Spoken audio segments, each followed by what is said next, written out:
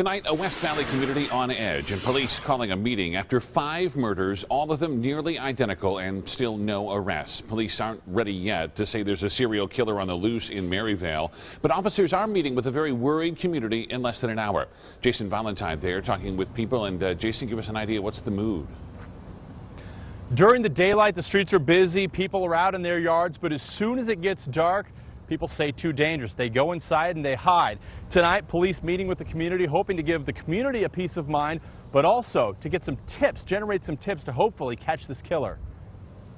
We heard the gunshots, and I got out there. I was out there within less than a minute, and then uh, I found I saw him laying right there on the side of the car. This man behind his screen was the first to find 32-year-old Horacio de Jesus Pena gunned down in the street. He wasn't breathing. And for obvious reasons, he will keep his face hidden behind this screen along with his neighbors. Oh yeah, people used to be outside and they're out there, you know.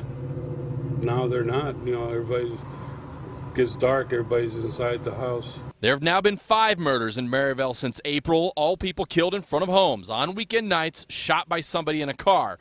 But police tell us they don't have any suspects. One expert and former cop who helped crack the baseline killer case a decade ago told us investigators are likely under lots of pressure. The, the most pressure is upon the detectives themselves because no one puts more pressure on them than themselves because they want to solve the case. They're the ones interacting with victims and their families. Meantime, Maryvale sits on edge waiting for an arrest. I want them to catch the right person that's doing it.